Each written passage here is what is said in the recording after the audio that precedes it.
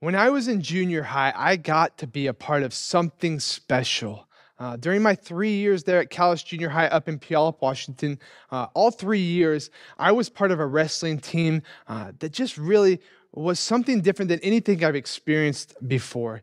I was on a team that was, I had amazing teammates, uh, but it was really interesting because it was a monstrous team, just a huge team that I've never heard of anywhere else. We, in my three years, uh, were, had between 95 and 115 wrestlers on a single team. And so we were this massive team, but not only were we massive, we were incredibly successful in my three years there, uh, we took first place two years and second place the, the other year. And outside of that, during the entire time, we lost one match, a one match to a, a tough team, and it came down to the final wrestling individual match and it ended in controversy. Otherwise, I, we didn't experience loss. Uh, all we did was win. And we would just, to be clear, we would steamroll teams. We would come in and beat teams like 90 to 3, which, if you've been a part of wrestling, is just, uh, it doesn't really happen. And so uh, we would go about to different teams and we wouldn't be questioning, oh, are we going to win today? We were like, how much are we going to win by? How many pins are we going to get? We expected to win and we did win. And it was my ninth grade year being a part of this team, and I was jacked. I was so excited because my ninth grade year was going to be my year. It was going to be the year that I would get my glory, right? You know, I was the upperclassman, I guess, if that's a thing in junior high, because I was ninth grade, but that's the oldest of the three grades. And I was going to be successful. I was wrestling at the time, I believe it's 104 weight class, and I was uh, expected to, to, to just blast through every opponent. I was expected to win every match. I was expected to win conference. I was expected to take first place. And to be clear, I wasn't like a great wrestler. I was kind of decent, above average, but the weight class I was in, it just so happened that I was far and away better than almost everybody there. And so I was looking forward to finally having a good year. My two previous years, I had an injury on my knee. I had mono. I didn't get to finish either season, but this season was going to be mine. I was going to get the glory. My team was going to get the glory. Things were going to be perfect, but there was a problem. There was a problem we had on the team. Uh, in our lightweight, our, our lower weight uh, areas, we had an unequal distribution of talent. In my weight class, we had three guys, myself at varsity, the two Ryans behind me at JV and exhibition. We were some of our more talented wrestlers, particularly in the, the lighter weights, but we were all stuck in the one weight class, which meant our other weight classes around, and in particular the lower weight class, had a huge problem. In, on, interestingly enough, on a team with like 110 guys that year, the weight class below us, 98 pounds, it had one guy, and it just so happens that that one guy in the alone in the weight class was probably our worst wrestler on the entire team. So we had a log jam of strong wrestlers, uh, a couple places with weak wrestlers, and my coach had a problem. How does he distribute this talent in a way that would allow our team to win, our, our team to achieve a three-peat? And so what he did is he came up with the plan. He came to me and my dad and, and, and presented this idea. He said that he would ask me if I would consider moving down a weight class for the entirety of the year to cover that hole on our team and give us a chance to win another championship. And after discussing it with my parents and weighing all the pros and cons, is this healthy for me at this age group? We decided that for two and a half months, I would cut weight, which was equivalent to like three pounds. I would cut these three pounds so that I could help my team. And, and, and I did it really begrudgingly. I did it, yes, I was excited to help, but it would come at my cost. I would no longer be expected to win every match. I would no longer be expected to win first. The expectation and the reality was I was going to finish like somewhere between fifth and second place. I had no chance at getting first. The guy there from a different school, he wasn't just the best wrestler in the weight class, he might have been the best wrestler in the entire area, pound for pound. I was going to lose out on what I wanted most my own personal glory. And yet I went through with this plan and it was miserable.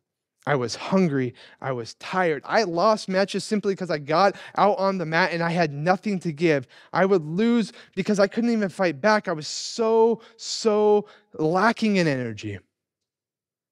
And yet, what happens at the end of the year is I am able to figure it out and I take third and I give my team a chance to win the championship.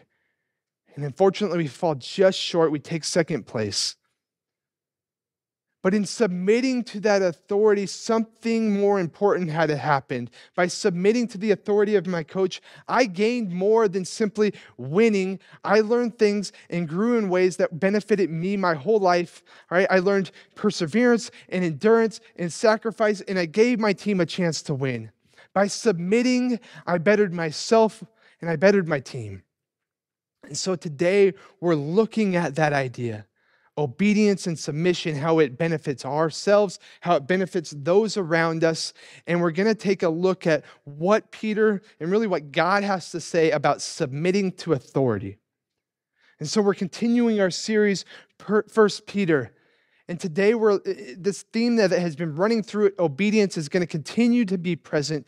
And we're going to actually dive into some difficult topics for the next three weeks, including today.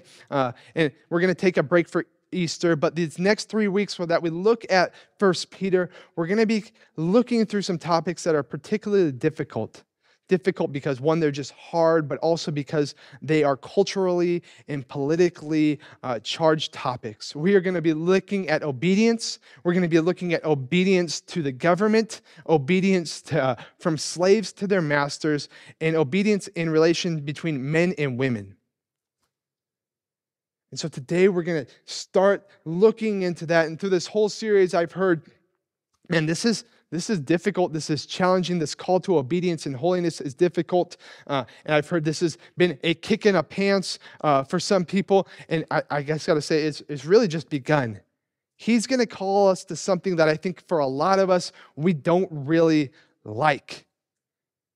So let's let's just get into it. He's going to start off this uh, middle of chapter 2, verse 11, he says, Beloved, I urge you as sojourners and exiles to abstain from the passions of the flesh which wage war against your soul. And he's going to start off this really second part of his letter, and he's going to go right back to starting it in a very particular way. He's going back to uh, he's going back to identity because he's going to challenge us to something good, but he's going to remind us in how he writes that this all stems out of not your own power, but the identity that you have in Christ, the power that he gives you, right? He left off last week talking about our identity as a chosen race, a royal priesthood, a holy nation, a people for his own possession, people who were not of God, but are now of God. And he continues this line of identity because it requires, uh, obedience requires us to live out of this identity. And so he says, beloved. He chooses his words carefully. It's not this adelphos. It's not this, hey, brothers and sisters, uh, this is what we're called to. No, he, he looks at who God calls us. We are his beloved. We are a people of his own possession that he loves. He loves so much that it, it, it, it drives him to sacrifice himself on a cross so that we can be in relationship with him. That is where our obedience stems out of, not of our own power, but that He loves us so much and it should drive us forward. And He uses some other identity words sojourners and exiles. And so, a reminder, he's writing to a people, followers of Christ, who are literal sojourners and exiles. They have been forced out of their homes. They have chased, been chased to the point of death. They're living in a land that is not their own. So, yes, he's saying, you literal sojourners and exiles, but he's writing to something deeper that applies to us. He's getting at this idea that they and us, we are first and foremost citizens of heaven that no matter where we are, whether we're in northern Turkey, whether we are in America, we may be, and we are, in fact, citizens of America, but deeper than that, we are citizens of heaven. And our conduct should be befitting of a citizen of heaven. We should act not as Americans first, but as, uh, the, as followers of Christ. That is our identity. And I, and I know these words, sojourners and exiles, are not really common words that we use. So I went and looked at some of the different translation. What words do they use? And, and what I found was it was foreigners, temporary residents, pilgrims, aliens, strangers. That is what we are at all times. No matter where we are, this is how we should live, not as citizens of a nation, but citizens of heaven.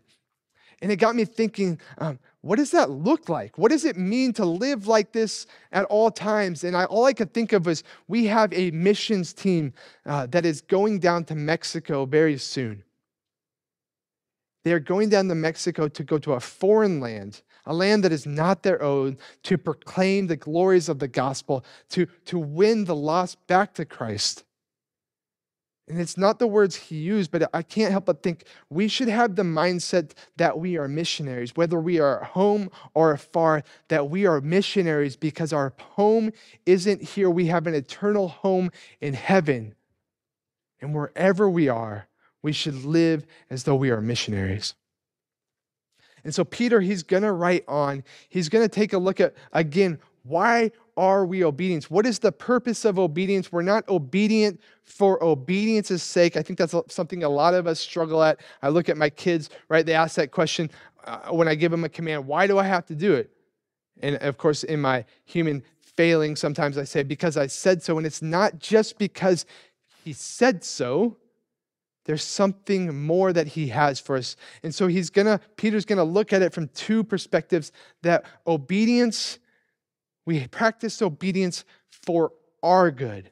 Obedience is for our good, not just collectively, but also individually. It is for each and every one of our good. And I think that's a really hard thing to swallow. We don't like the idea of obedience. Obedience is holding something from us instead of this idea from God. Obedience is driving us to what is good. He said, Beloved, I urge you as sojourners and exiles to abstain from the passions of the flesh, which wage war against your soul. He's talking about obedience, and in this case, he's talking about a specific kind of obedience that is abstaining from things of this world, abstaining from the passions of our flesh because they keep us from what God has for us that too often we live in the passions of the flesh because they are uh, appealing to us, because we think we can get something that we can't find in God that actually is the only thing or the only person we can get it from. We think that God is holding out on us, so we pursue the passions of our flesh, our disordered desires, in a, in a world that says thing, everything is okay and everything is permitted, everything is good instead of being obedient to what God has prepared for us. He created us with a specific way we are to live, and it's for our best, it is for our good. And too often we look outside of that for uh, in search of something, and it only leads to our destruction. I look at this abstain from the passions of the flesh. And I can't help but look back uh, to this period of time, somewhere in the midst of being like 20 to 23. I'm not good with timelines, but there was in that time this about year and a half period where this is what I was living out. I didn't abstain from the passions of the flesh. I was, I was delighting in the passions of the flesh. When I look back at these five years, and, and, and if I had to describe it in five words, what, what encapsulated my life it was working, uh, working, drinking, pornography, video games, and cussing. Like those were the defining things in my life working, drinking, porn, video games, and cussing. And so I, I had no problem with working. It wasn't a, a sin in my life. I was working at a healthy rate. Uh, I was doing, I was working diligently. I was respectful. But every other major aspect of my life, I was doing something that was hurting me and hurting my soul. I was destroying myself. I, and to be clear, I believed in God. I was I know for a fact that I was going to heaven, but in the moment I was chasing things that were not of him because I was seeking something I was seeking really a hope that I had lost.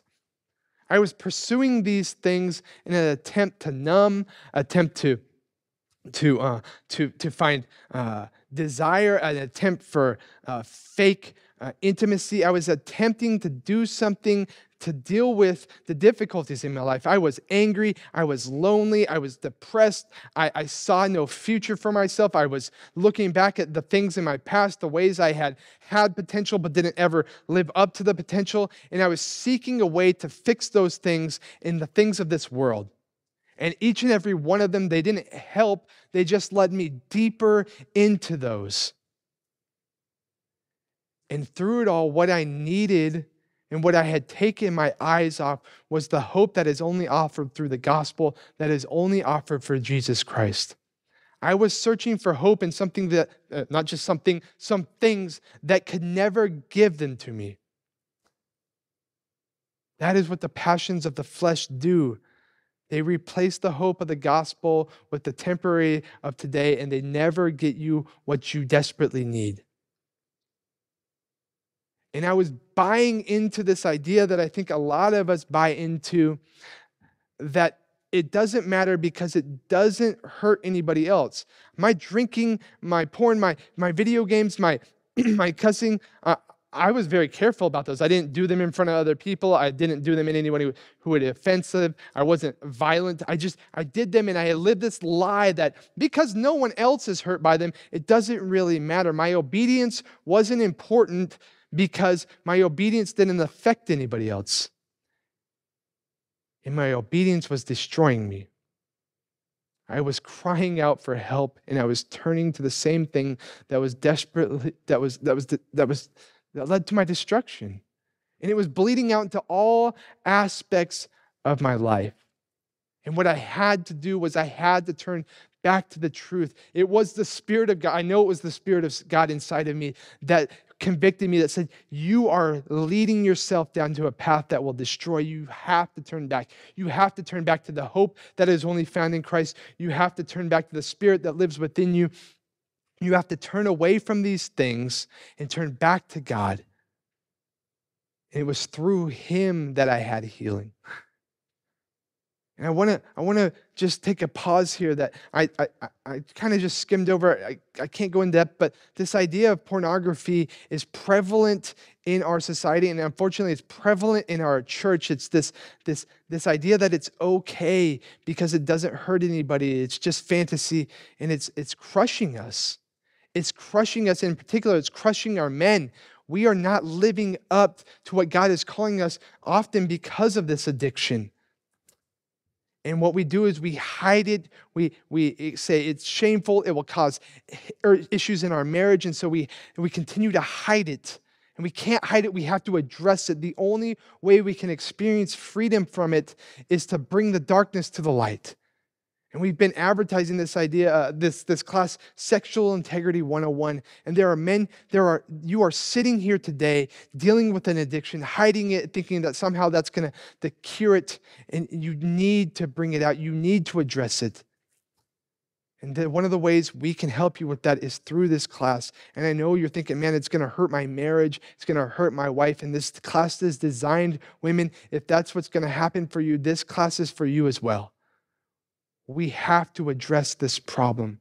We have to address a problem that is statistically affecting 70% of the men in our church. We cannot hide it. We have to defeat it. We cannot defeat it on our own. It can only be defeated through turning to the hope that is provided in the gospel. And he talks about this second idea it's waging a war against your soul. And I think it's another lie we've bought into that once we are saved, we are extracted from the war. That because he has saved us from the penalty of sin and he will save us from the presence of sin, everything good, we're out of the war. We don't have to worry. And the truth is, you are always in a war. There is a war waging on around you for your soul. And too often, what we are doing is believing that it's not true. We, do, we, we, we live as though there is no war, that we're not a part of it. And so I want to ask you are you engaged in the war for your soul? War has come to your front door, and too many of us were sitting on the couch asleep, or, or we're, we're fighting back with a, a water pistol. Satan cannot take your soul. You have eternal security, but for the present time, he wants you to believe that there's nothing you can do. And part of the gospel is that you are being saved from the power of sin in your life. And Satan wants to steal that from you. He wants to steal from you what God has for you. He wants to steal that you can live in the fullness of God, that He desires for you something not just in the future, but something great for you today when we turn to Him. So, are you engaged in this war for your soul? The second part he's going to talk is he's going to look at is obedience for the good of others. It's not just this internal thing that obedience helps, it's also this external. He goes on to say, Keep your conduct among the Gentiles honorable, so that when they speak against you as evildoers, they may see your good deeds and glorify God on the day of visitation. Our obedience is our mission. Often, our obedience is our witness to a lost people. It's not just the things we say about Jesus, but it's how we live like Jesus, who was obedient to the point of death. One of the most powerful things that appeals to people, yes, is his miracles, yes, that he's God, but that he was obedient to the cross. He was willing to lay down his life. He was willing to submit to a government authority that he actually had power over, that he could have at any point removed himself from the situation, removed people. He created it, he could take it away, and yet he submitted to authority to death. And it appeals to people because it is unnatural to a sinful nature. He says in there that so that when they speak against you as evildoers, I think there's something again we need to acknowledge that he says, when they speak against you. This is a promise. If you are following Christ, people will speak evil against you. The world will turn against you. It's what Jesus promised, it's what he's repeating here. We need to not act surprised that the world is turning against us. The world is Satan's is under Satan's dominion. If you're not following Jesus, you're following him, and which means you're following the darkness, and the darkness hates the light. And when we have the light of God living within us and it comes and it exposes that darkness, their natural reaction is to push against us, to hate us, to speak evil against us. This should not be a surprise for us and I think we're often acting out of surprise. Oh, they're speaking evil against us. We're not prepared for this and respond with evil. This is what will happen. It has always happened. It is always happening. It will always happen until Jesus brings about the end times. This is our reality. We need to be prepared for it. And he says in that we are to keep our conduct amongst the Gentiles, the non believers, honorable for a purpose they may see your good deeds and glorify God on the day of visitation. That in us acting honorable, in us submitting, in us to obey, in us obeying, they will see that. They will see the wickedness of their ways. They will see the goodness of God, and they will, in the end, glorify Him. And he uses this, this idea on the day of visitation, and there's a lot of disagreement. What does that mean? Is it when uh, we die and, and we go to excuse me, we go to Jesus is this one at the end when Jesus comes back on earth. And really, uh, uh, there's tr- one of those is obviously true, but in the end, what it, it says is through your obedience, people will come to know Christ and ultimately they will glorify him. How we act matters. Our obedience is our witness, and when we are dishonorable, we hurt our witness, we damage our witness, and we hurt our mission. We are to be an honorable people. How we live matters. And now he's going to go into some different ways. He's going to go into some different ways in how we live amongst the, an evil world and live in obedience, how we live honorable. Right? And today he's going to look at how we submit to authority. And to be clear, he's talking, when he's saying authority, he's going to talk about some different ones. But the first one he's going to talk to uh, specifically, how do we submit to governmental authority? And I'm just going to be really honest with you. This is not a passage I want. This is a passage I struggle with. This is a passage that I know brings up a lot of anger amongst people. This is a passage that, as an American, like I really I really push back against because at my core, what I had desire and what I have been taught since I was a child is freedom against all things that I only submit to the government as long as they're doing something for me or I agree with them. And if not, I'm supposed to rebel. I mean, we have it in the idea of how we were formed, we have it in this idea of the Second Amendment. We've been stockpiling things so that when they get too uppity with us, we can uh, put them back down. And what, what Peter, and again, what God's word said is, you are submit to authority. So let's dive into it. He says, be subject for the Lord's sake to every human institution, whether it be to the emperor supreme or to governors as sent by him to punish those who do evil and to praise those who do good. Peter's very clear that every human institution, including government, is something that we are to be subject to. And it's not simply that we're subject to them because they exist. We're subject to them, he says, for the Lord's sake. This is what he desires for us. This is what he wants out of us. It's not because we are to like it or to agree with it. This is what he calls us to do in the midst of all, everything. I want you to look back. He says, whether it be to the emperor as supreme, he's specifically highlighting. Remember, he is, they are living under Nero, an emperor who has decided to place the blame of his evil actions upon followers of Christ and has said, We're to go hunt them down and kill them and feed them to the dogs. And Peter is saying, Don't not to rebel, but you are to be subject to the emperor. And part of this is that, that government is ultimately an institution that God, in, it's an instrument of God. Government was intended to be a way to carry out God's justice on earth, that He would, through it, punish those who do evil and praise those who do good. And since the fall, we've taken it and we twisted it and perverted it and used it for evil. And yet, God says, My intent is for government to be used for my righteousness and for my justice. He goes on to say, For this is the will of God, that by doing good, you should put to silence the ignorance of foolish people. Live as people who are free, not using your freedom as a cover up for evil, but living as servants of God that when we submit to the government, we are living in obedience, not just to the government, but we are living in obedience to God for a purpose.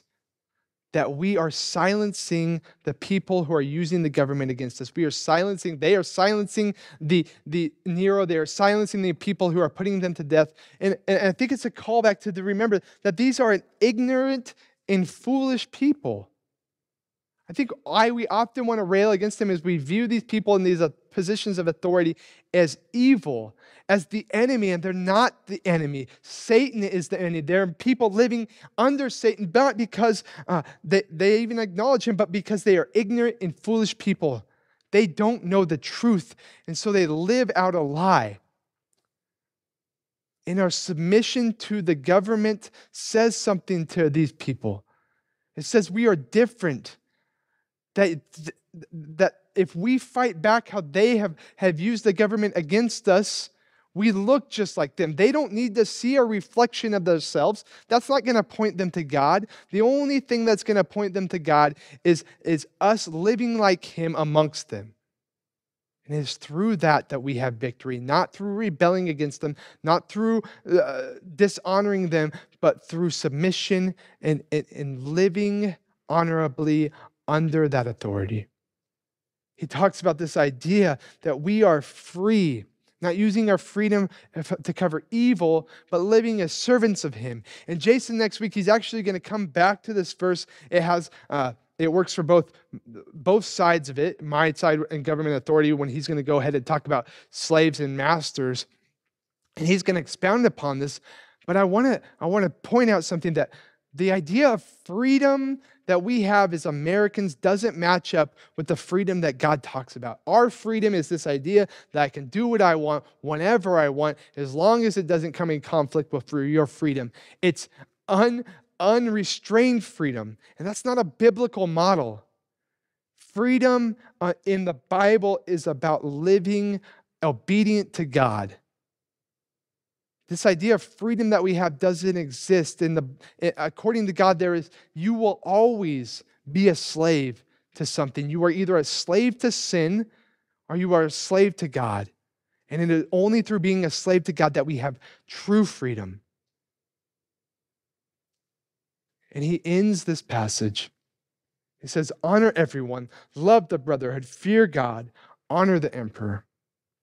And he writes this really, he uses this really cool formatting in here, right? He sandwiches uh, two things between this honor, and he does it purposely to compare and contrast this idea of how we're to live uh, in relation to other people. He says, Honor everyone. I can't help but think back to Jesus talking about who's your neighbor in the good parable of the Good Samaritan. He's like, well, Everybody's your neighbor, even the people you hate. Honor everyone. And uh, uh, this word is kind of difficult, so we wanted to give a definition to it this idea of honor that honor is simply ascribing value to. So, value everyone. Love the brotherhood that, and he uses the word agape here, this self sacrificial laying down your life for the brotherhood, these brothers and sisters in Christ that love, then you are to, to, to go to the point of death for one another to build each other up, but also to be a witness to the outside world so that they can join and they can experience the love that only God can provide. And then he goes, Fear God.